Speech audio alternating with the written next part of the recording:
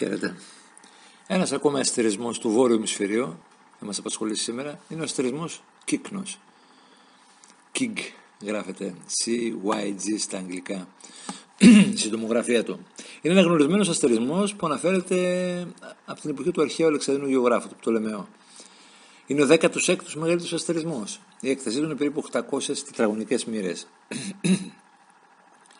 Βρίσκεται ολόκληρο στο βόρειο ημισφαίριο, αλλά δεν είναι πάντα ορατός από την Ελλάδα, γι' αυτό λέγεται αμφιφανίες. Είναι ορατός κυρίως σε γεωγραφικά πλάτια από 90 μοίρε βόρεια μέχρι 28 μοίρε νότια. Γύρω του υπάρχουν έξι αστερισμοί: ο Κυφαία, ο Δράκοντας, η Λύρα, ο αστερισμός Αλόπιξ, ο Πίγασος και η Σάβρα. Η ονομασία Κύκνος οφείλεται στον Ερατοσθένη. Όμως οι υπόλοιποι αρχαίοι Έλληνες τον ονόμαζαν τον αστερισμό Όρνης.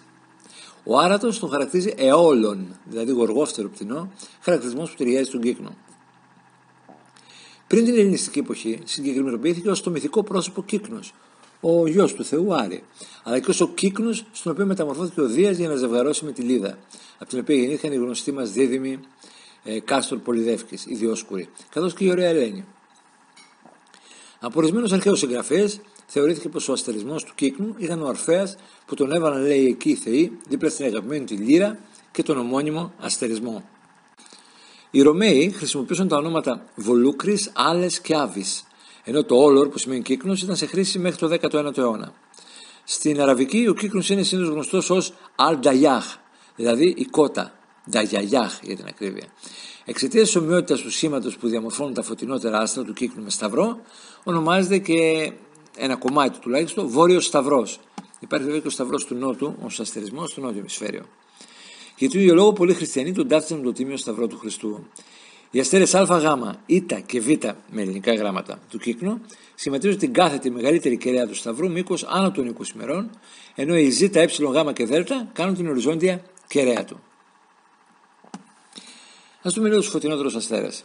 Οι μεγαλύτεροι αστέρες της Λύρας, που έχουν μέγεθος τουλάχιστον μικρότερο ίσον του 6,5, είναι 262. Λογικό είναι οι κυριότεροι αστέρες του μεγάλου αυτού αστερισμού που είναι στο γαλαξία μας να είναι αρκετά φωτεινοί ώστε να έχουν και τα δικά τους ιδιαίτερα ονόματα. Ο Α, συνήθως στα μικρότερα γράμματα, Α, ας πούμε, το, το πρώτο γράμμα μάλλον της ΑΒ, της ΑΒ ή το δεύτερο, τρίτο κλπ. είναι με σειρά από τον πιο ε, φαινομένου μεγαλύτερου μεγέθους με, μέχρι τον πιο δυσδιάκριτο θα λέγαμε. Άρα ο Α, συνήθως σε έναν αστερισμό, Α μικρό γράμμα ξαναλέω, είναι ο αστέρας που είναι πιο φωτεινός. Άλλος έχει φαινόμενο μέγεθος 1,25, ο αστέρας Α κύκνου. Ονομάζεται και Ντενέμπ. Αυτός βρίσκεται στην ουρά του αστερισμού. Ο αστέρας Β κύκνου είναι διπλός αστέρας. Ένας γαλάζιος γίγαντας και ένας μικρότερος συνοδός, γνωστός με το όνομα Αλμπίρεο. Αυτός σηματοδοτεί την κεφαλή του αστερισμού. Ο αστέρας Γ, δεύτερος στη φωτεινότητα του κύκνου, είναι ο Σάντρ. Ο Δέλτα κύκνου με μέγεθος 2,87 έχει ένα μυδρό συνοδό. Ο ε είναι γνωστός πάλι στην αραβική Τζιενά. Οι αστέρες Γ, Δ και Ε, το είπαμε και πριν, σηματοδοτούν τα ανοιχτά φτερά του αστερισμού.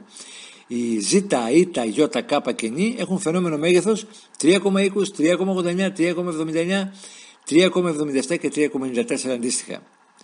Ο κόκκινος Χ του κύκνου είναι μεταβλητός αστέρας με μέγεθος 5,2, συνήθως ορατός και με μικρά κιάλια. Ο αστέρας 16 κύκνου Β, όπως ονομάζεται, βρίσκεται σε απόσταση από τη Γη περίπου 70 έτη φωτός. Έχει κοντά του έναν πλανήτη που περιφέρεται γύρω του μια φορά κάθε 804 έτη και ο οποίος έχει μάζα 500 πλάσια της μάζας της Γης. Είναι από τους πρώτους εξουλιακούς πλανήτες που ανακαλύφθηκαν. Αστέρας και πλανήτες, το δίδυμο αυτό που είπαμε, πλησιάζουν το ηλιακό μας σύστημα με ταχύτητα 98.000 χιλιόμετρα την ώρα. Ο Αστέρας 61 κύκνου τώρα αποτελεί τριπλό σύστημα με δύο κόκκινους γίγοντε και ένα μικρότερο συνοδό. Είναι ο 16ο και ο 17ο κοντινότεροι αστέρες στη γη ανάμεσα στα εκατομμύρια που υπάρχουν στον νυχτερινό ουρανό. Το τριπλό αυτό σύστημα βρέθηκε να απέχει από τη γη περίπου 11 έτη φωτός. Ο αστέρας 34 κύκλων ανήκει στην κατηγορία των λαμπρών κιανών μεταβλητών. Το φαινόμενο μέγεθό του κυμαίνεται από 3 μέχρι 5, αλλά στην πραγματικότητα, ενώ βρίσκεται σε απόσταση 6.000 ετών φωτός από τη γη, έχει φωτιστική ισχύ 700.000 φορές μεγαλύτερη εκείνη του ήλιου, εκείνης του ήλιου. Ο μεταβλητός SS κύκνου είναι ένας νάνος κοινοφανής αστέρας, ενώ ο V404 κύκνου αντιστοιχεί σε μια μαύρη τρύπα. Πρόσφατα, το 1978, ένας άλλος κοινοφανής αστέρας εξεράγει στον κύκνο ο μεταβλητός V1668 κύκνου. Για να δούμε κάποια άλλα αξιοσημεία του αστερισμού. Διασχιζόμενος όπως βρίσκεται ο αστερισμός διαγώνια από το γαλαξιακό επίπεδο, ο αστερισμός είναι πολύ πλούσιος σε σώματα του δικού μας γαλαξία, όπως νεφελώματα, ανοιχτά αστρικά σμήνη κλπ. Θυμίζω μια φορά ακόμα, νεφελώματα είναι οι φωτεινές επιφάνειες στον ουρανό, οι οποίες με γυμνό μάτι φαίνονται σαν μια θολή κοιλίδα. Έξω και το νεφέλωμα. Επίσης, τα νεφελώματα είναι χώρος γέννησης άστρων. Η κλασική τύπη νεφελωμάτων είναι διάχυτο νεφέλωμα, νεφέλωμα εκπομπής και σκοτεινό νεφέλωμα. Αυτά έτσι σαν παρένθεση για να θυμίσουμε λίγο τι είναι τα νεφελώματα. Έχει επίση ανοιχτά αστρικά σμήνη, ο αστερισμός κλπ. Για παράδειγμα, το αστρικός μήνος NGC 6913 έχει διάμετρο 8 έτη φωτός, φαινόμενο μέγεθος 6,6 και απόσταση από τη γη περίπου 4.000 έτη φωτός. Το NGC 7092 έχει πάνω από 30 αστέρες, διάμετρο 8 έτη φωτός, μεγάλες αποστάσεις μιλάμε τώρα, φαινόμενο μέγεθος 4,6 και απόσταση από τη γη 900 έτη φωτός. Επειδή ο κύκνος περιέχει πολλά πυκνά αστρικά πεδία, εύκολα ανοιχνεύονται σκοτεινά νεφελώματα σαν περιοχές χωρίς αστέρες. Στον κύκνο αρχίζει και η σκοτεινή ταινία η λεγόμενη Great Rift, που εκτείνεται κατά μήκος τη λωρίδας του γαλαξία μας μέχρι τον αστροισμό του Κεντάβρου. Ενώ υπάρχουν επίσης τα σκοτεινά νεφελώματα, Barnard 146, 147, 168, 352 και 361. Το σύνολο νεφελωμάτων του γάμα κύκνου εκτείνεται δύο μοίρες και μπλέκεται με το νεφέλωμα IC1318 ή αλλιώς το γνωστό νεφέλωμα της πεταλούδας, όπως ονομάζεται, λόγω της ομοιότητάς του. Η κυκλική νεφέλωση που αποτελείται από, το, από τα NGC 6960 και NGC 6992 Παύλα 5 είναι γνωστή και ως ο βρόχος του κύκνου Cycnus Loop και είναι ουσιαστικά υπόλοιμα supernova ηλικίας 5.000 έως 10.000 ετών. Απέχει από τη γη 1.440 έτη φωτός.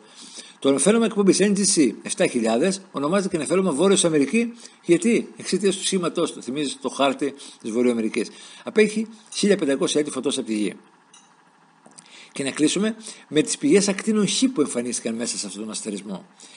Η πηγή SAIG X 1, παύλα 1, είναι διπλό σύστημα, δηλαδή δύο αστέρες που περιφέρονται γύρω από το κοινό τους κέντρο μάζας. Ο ένας έχει καταρρεύσει σε μαύρη τρύπα πλέον, μάζας περίπου 15 ηλιακών μαζών. Ο άλλος αστέρας είναι ο ωκεανός υπεργίγαντας ενάτου μεγέθου που ουσιαστικά ταΐζει, θα λέγαμε, τρέφει με το υλικό του τη μαύρη τρύπα. Το υλικό υπερθερμαίνεται καθώς στροβιλίζεται γύρω από την τρύπα και έτσι, εξαιτίας αυτής της διεργασίας, εκπέμπει ακτίνες Χ. Μια άλλη πηγή στον ίδιο αστερισμό X Παύλα 3 είναι παρόμοια δομή με την προηγούμενη. Τέλος, η πηγή Κύκνος Α, κεφαλαίο Α, ταυτίζεται με μακρινό γαλαξία. Πρόκειται για ένα απόμακρο ελλειπτικό γαλαξία σε απόσταση 700 εκατομμυρίων ετών φωτός από τη Γη, πράγμα που τον καθιστά τον ισχυρότερο, ε, τον κοντινότερο μάλλον ισχυρό ραδιογαλαξία. Να πούμε λίγο για τους ραδιογαλαξίες. Είναι τύποι ενεργών γαλαξιών που είναι πολύ λαμπροί στα ραδιοκύματα δηλαδή ανάμεσα από τα 10 MHz μέχρι τα 100 GHz. Η παρατηρούμενη δομή στην εκπομπή ραδιοκυμάτων καθορίζεται από την αλληλεπίδραση μεταξύ δύο πηδάκων υλικού και το εξωτερικό ενδιάμεσο που παραμορφώνεται από τις επιδράσεις αυτής της σχετικής ακτινοβουλίας. Οι γαλαξίες που τους φιλοξενούν είναι σχεδόν αποκλειστικά μεγάλη ελλειπτική. Αυτά για τον αστερισμό του κύκνου. Χαίρετε.